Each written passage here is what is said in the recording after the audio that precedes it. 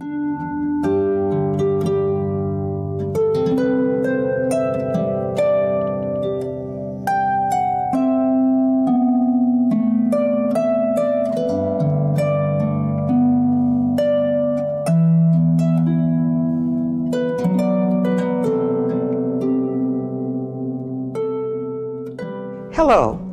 Thank you for choosing to visit with us today at the Bellamy Mansion Museum of History and Design Art.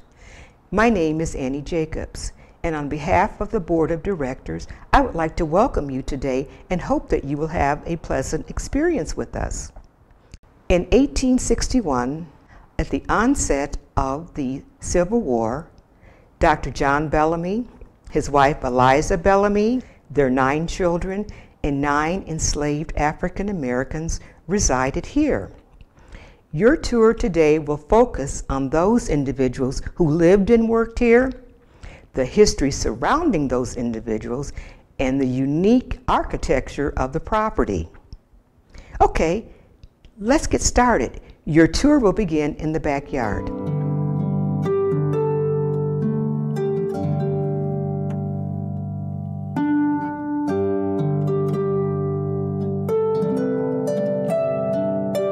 Notice the uh, brick building that was the carriage house in the 1860s when the Bellamys moved into their new home.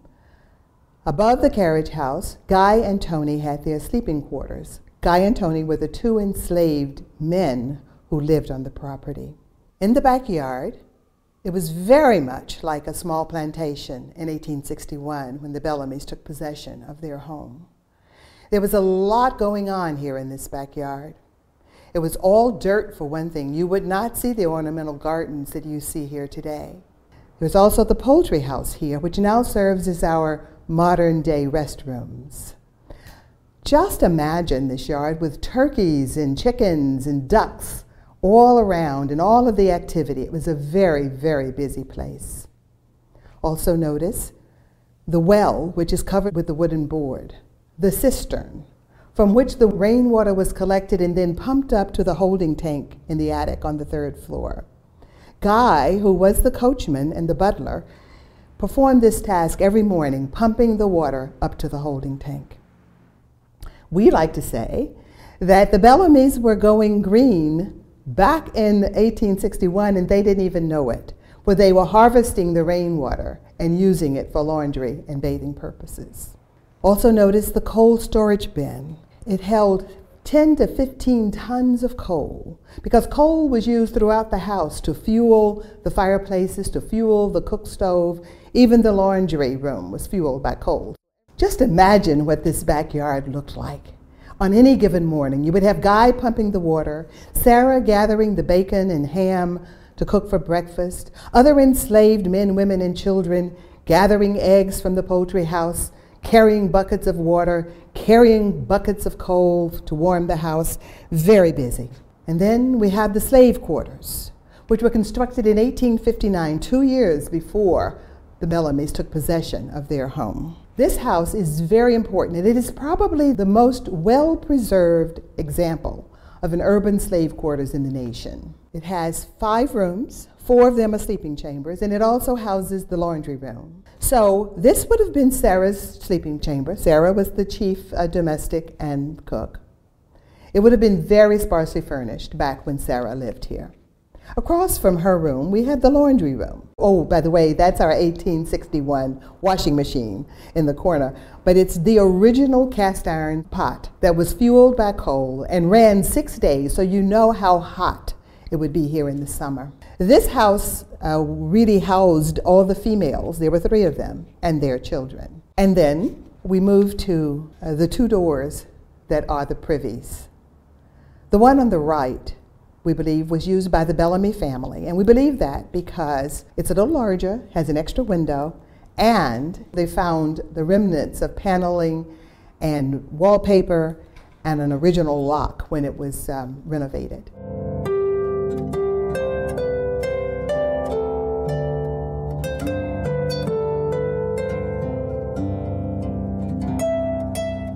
The Bellamy Mansion is referred to as an antebellum home, meaning built prior to the Civil War.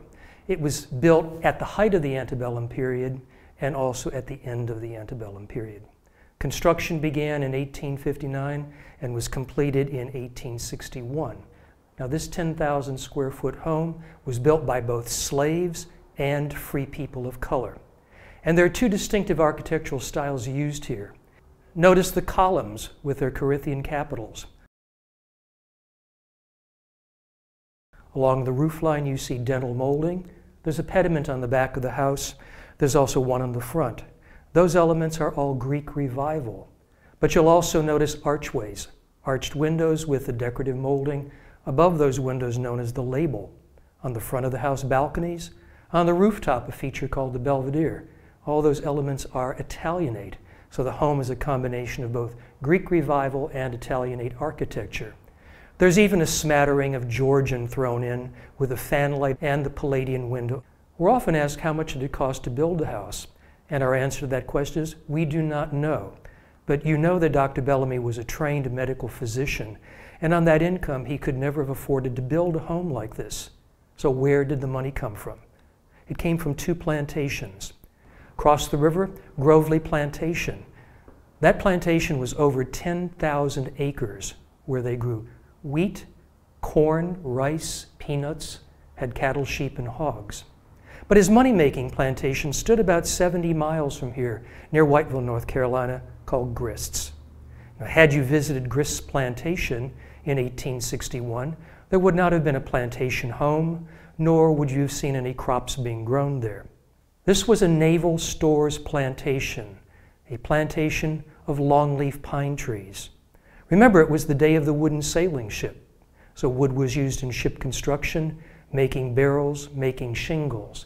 But more importantly, from those trees, three valuable products tar, pitch, and turpentine. That's the money that built this house.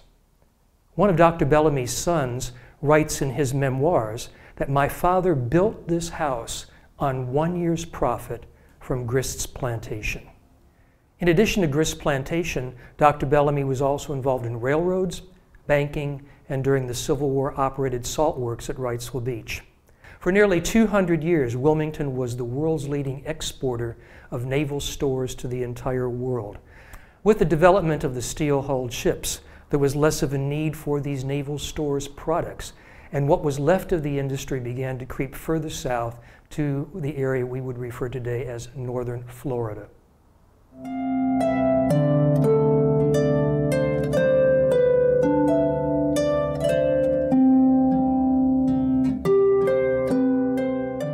my name is Beth Mentisana. I'm a docent here at the Bellamy Mansion. And I'd like to uh, show you some parts of the house that you haven't seen yet. And I'd like you to imagine that you are a guest of the Bellamys and you've arrived by way of horse-drawn carriage at the front gates of the house. You made your way up the steep steps to the front door. You were greeted by Mr. and Mrs. Bellamy in the foyer and then escorted into the formal parlors, which is where we are now. And there's a variety of different things that I'd like to point out while we're in this space. Uh, first of all, you can see it's a pretty good size room. It can actually be made into a smaller, more intimate space by closing these huge pocket doors that you see here. You're going to see a number of architectural features throughout this space. The windows throughout much of the house, and obviously in this space as well, very large windows, lots of them, and they're actually pocket windows. And they go up into the wall, which allows a great deal of airflow.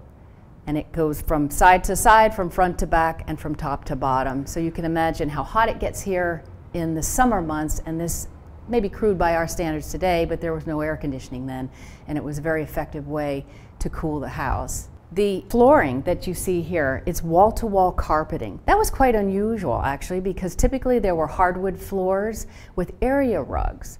So this was quite a modern feature in this house. You can also see that it's quite colorful Obviously, it is not the original carpeting that was here, but it is the original pattern. So you get a sense of Eliza's taste. The walls were left purposely white to highlight the colorful furnishings as well as the carpeting. The windows, I'd like you to imagine that there were green, heavy brocade drapes on this side, red brocade on the other side, with lace inserts and velvet tiebacks. Very dramatic. Also in this room, you have these beautiful gasoliers, sort of a play on the word chandelier. These lights were fed by coal gas. And for the families that could afford the piping that was needed to deliver the gas, you would find beautiful lights like this in homes of this kind. The plaster work is also quite intricate, and it really is a tribute to the skill of the artisans who built this house. On the walls, you'll see a number of paintings. These are original paintings that were done by the oldest Bellamy daughter. Her name was Mary Elizabeth. They called her Belle. And she was studying art at a finishing school just outside of Columbia, South Carolina. Another feature in the formal parlors are the marble fireplaces. There are 15 coal-fired fireplaces in the house. These are the only two that are marble. The mirrors that you see above the fireplaces, obviously the glass has been replaced, but the frames are original, they've been refurbished. As we make our way into the second parlor area, you will see a parlor piano. This came from Baltimore. It's vintage 1860. On the back wall, as I like to fondly refer to them, we have the happy couple, uh, John and Eliza Bellamy. These are actual photographs that you're seeing. And then just one final uh, interesting feature in this space that you won't see elsewhere and you wouldn't see in the winter are the mirrors on the fireplaces. During the winter months, obviously, there would be coal in those fireplaces, but in the summer months, you would have these mirrors in place. And so I'd like you to imagine if you were a lady. Women wore long skirts, long dresses then, and they had hoop skirts underneath. They had lots and lots of layers of petticoats and other things. And so as they entered the room, they could very discreetly see the bottom of their skirt in the mirror on the fireplace.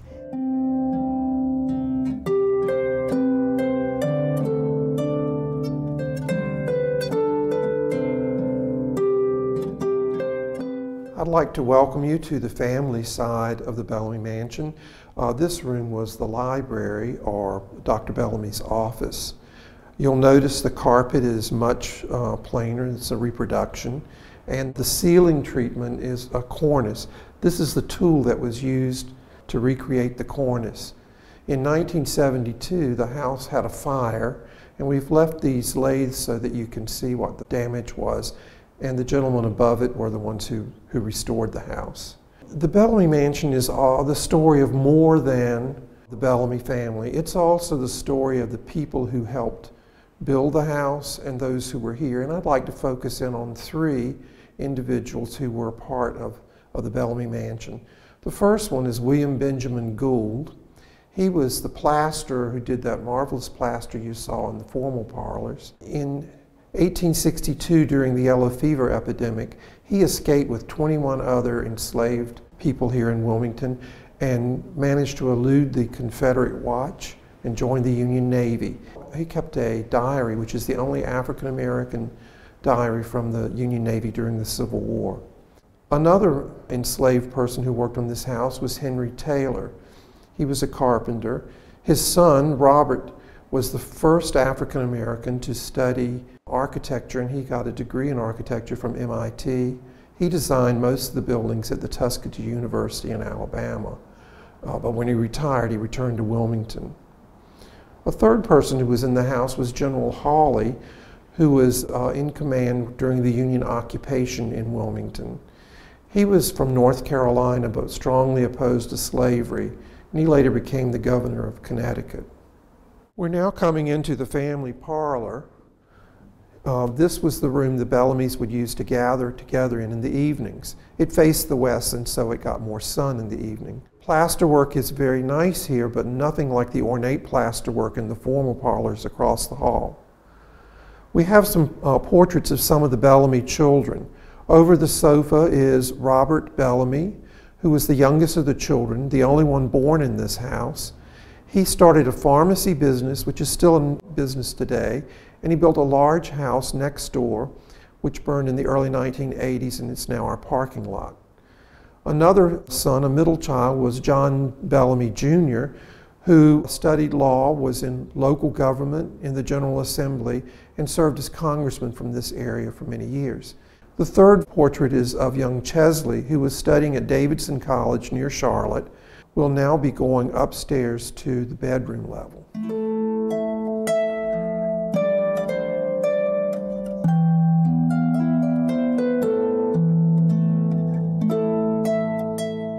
I hope you've been enjoying your tour of the Bellamy Mansion. We are now on the adult bedroom level. And on the east side of the house, the two bedrooms belong to Mr. and Mrs. Bellamy, and they also had a master bath, which was quite unusual. And on the opposite side of the house were the guest rooms, because the children slept in the attic. There's a couple architectural features at this level that I'd like to point out, one of which is the thickness of the wall between these two bedrooms.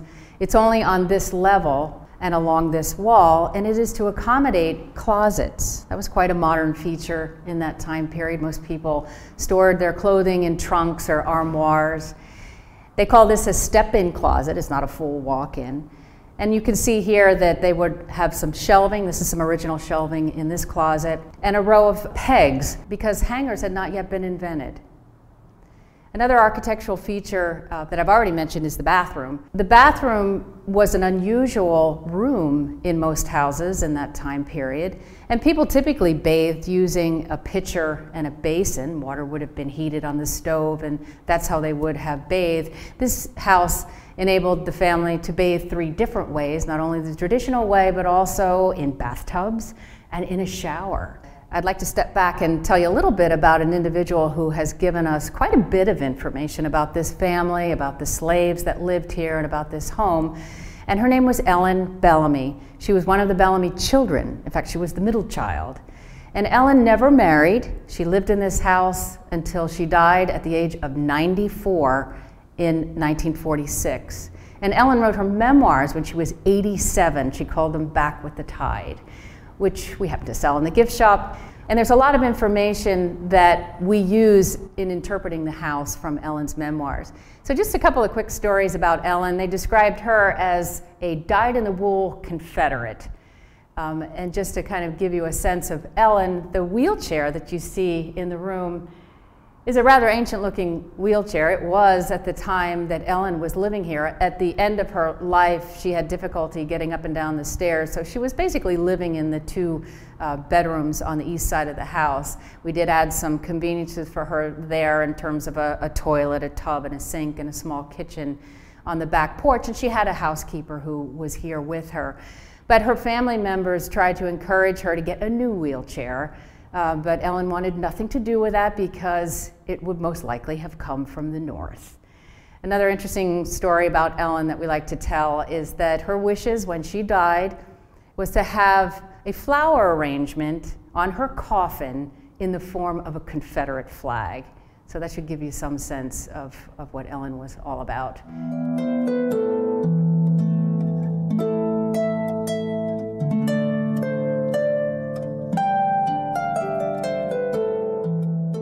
We're now at the children's level of the Bellamy Mansion.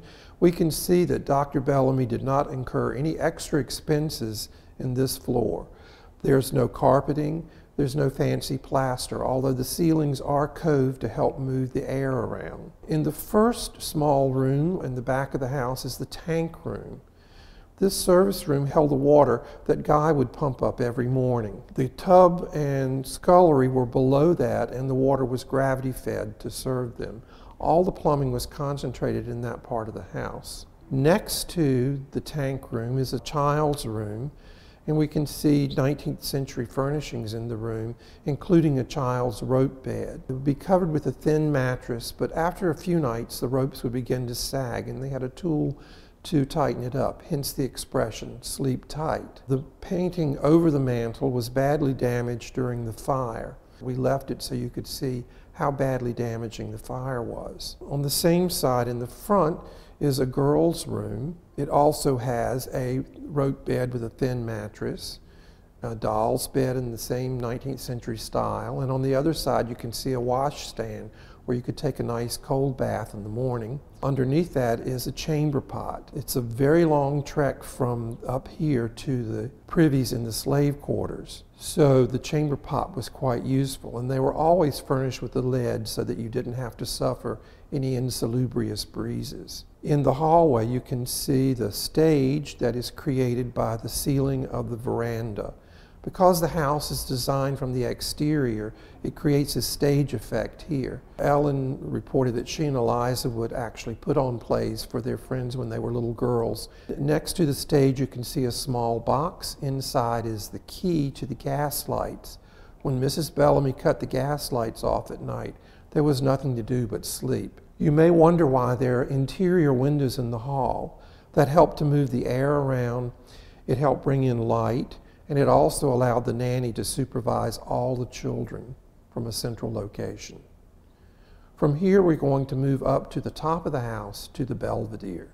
We're now in the Belvedere, my favorite part of the house. Belvedere comes from the Italian for beautiful view, and there's certainly no finer view of Wilmington than from right here. To the west, we can see the massive slate roof and towers of First Baptist Church. It was started at about the same time as the Bellamy Mansion, just before the Civil War. The war interrupted its building, and then uh, the aftermath meant there was no money to complete it, so it took 10 years to complete this building. Further down Market Street, we can see the golden domes of the Temple of Israel. It's the oldest synagogue in North Carolina and one of the 10 oldest in the United States. Further down Market Street, we can see some of the towers of St. James Episcopal Church. St. James is the oldest congregation in Wilmington, and its present building from the 1830s was one of the first neo-Gothic buildings in the United States. As we come back to the opposite corner from the house, we can see the Carolina Apartments. This early 20th century structure was very popular with filmmakers who wanted to depict New York City. Further down, looking south on Fifth Avenue, we can see the domes of the Basilica Shrine of St. Mary. It's one of only three basilicas in North Carolina it has a twin in Asheville, St. Lawrence. They were both built without nails. And then further down Fifth Avenue, we can see the tower of Fifth Avenue Methodist Church. If we look east on Market Street, we can see the tower of St. Paul's Lutheran Church. Like First Baptist, it was begun just before the Civil War and for the same reasons took 10 years to build. As we look north, we can see the tower of St. Stephen's AME Church. Before the Civil War, African Americans were not allowed to have churches of their own. After the Civil War, they began to build them, and this was built by the members themselves. It's quite lovely. We can also see the stone tower of Grace Church in front of the PPD building. This is the successor church to Front Street Methodist Church, where Dr. Bellamy was a member. Front Street welcomed everyone, including slaves, and had all day Sunday school accounting for the high level of literacy among Wilmington's African American population by the end of the Civil War. You can see much of Wilmington's heritage and history just looking out these windows.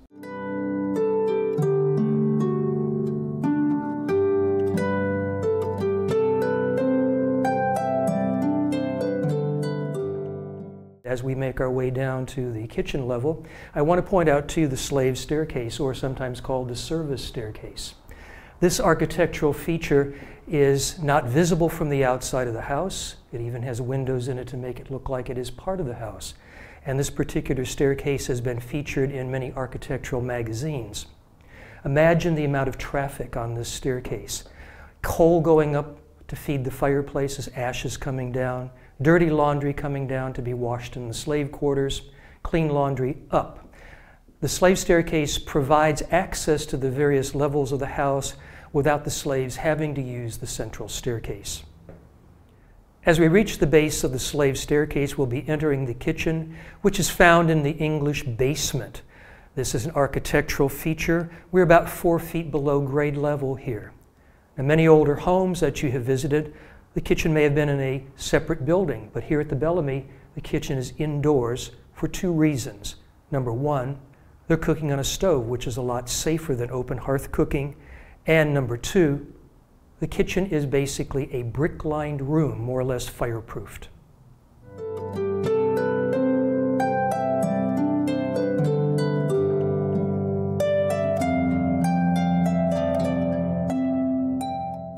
Welcome to Sarah's Kitchen. Sarah's Kitchen is one of four rooms in the English or daylight basement. On the north side of the wall, we have built-ins that are original to the room itself. The stove behind me, however, is not original. The original stove would have been cast iron, which was very common to have in the houses then. Ellen Bellamy tells us that Aunt Sarah used a hotel-sized stove because of the amount of people she would be feeding. This is a replacement dated in 1870 and it is from a relative's house added in the renovation. Across the room is a sugar cone. The sugar cones would have come packaged in the brown paper. Salt also came like that back in the day, and hence we get the term a pinch of sugar and a pinch of salt. We also have a pie safe. The pie safe would have held the dry goods and the baked goods and so forth. It has a punched tin exterior, which would have kept out the critters. And on the bottom, they would have put cups of water so that ants and other undesirables could not reach the goodies that would be inside. On the table here, we have a sampling of coastal cuisine, everything that is um, indigenous to the area, as well as tropical fruits that were made available because Wilmington was a very active port city.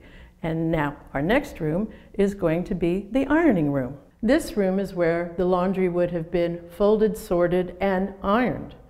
We have a historic display of irons here, uh, starting with the box iron.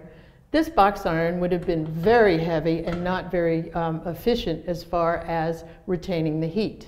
The box irons were replaced by these. They are known as sad irons or flat irons. We now know them as doorstops and bookends. The sad irons were replaced by this wonderful invention, which came in the set of four items, three irons and a detachable wooden handle. So you'd have all three on the fire getting warm, one would cool off, you would just simply place it back on the fire, pick up the next one that was hot and ready to go. Very efficient and safe because it wouldn't burn your hand. Having a butler's pantry is very rare, but it is a sign of a very wealthy, well-designed home. On the east wall, we have built-ins that are original to the house. Its finish is called oxblood or dragon's blood, and it is simply shellac with that pigment added to it. Inside the built-in is tea leaf china. It is of the period. It did not belong to Mrs. Bellamy, but it is on loan from a friend of the museum. It's interesting to note that on the bottom shelf is the children's china, and that's simply a miniature of the adult pattern. The food would have been plated by Guy and Sarah in this room right here. Guy, being the butler, would serve the food, and when the meal was finished, he would collect the dishes, they would be washed in the scullery, returned to the built-ins. The flooring here is not original to the house. This is an example of the original floorboard, and the reason it had to be replaced was we had incredible termite damage. The flooring that we're using now is heart pine lumber, and it was from a cotton mill outside of Memphis that they were tearing down. We needed the wood that was of the period. It's an excellent example of recycling natural resources. And our next room is the last room in the house, the dining room. This is the 22nd room and the largest room in the house. The Bellamy's selected the southwest position for the dining room with extra large windows it keeps it cool and comfortable all year round, and with the extra windows, it's the sunniest side of the house. This room has a more formal finish than any of the other rooms on this floor, as it has molded cornices at the ceiling. The fireplace mantel is marbleized slate, and one of the interesting items in this room is hanging on the wall, and it's a shoo fly.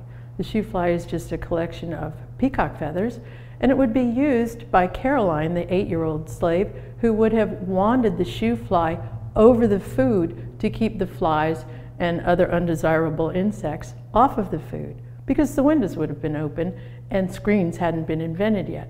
On the east wall, there's a sideboard, and on the sideboard is a sample of a holiday menu celebration. This celebration took place at Uncle Taylor's house, which is two doors down from here, because Dr. Bellamy was a very strict Methodist and he was a teetotaler. He would not have had alcohol in this house. However, it was quite a different story from the looks of things at Uncle Taylor's house. As your tour concludes, I would like to again thank you for visiting with us today. Our staff, volunteers at the Bellamy Mansion hope that this experience was special for you, and we look forward to seeing you again soon at the Bellamy.